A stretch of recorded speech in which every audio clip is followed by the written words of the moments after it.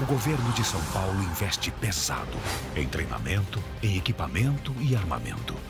É o que faz a Polícia de São Paulo ser o que é. Uma polícia de respeito em um estado de respeito.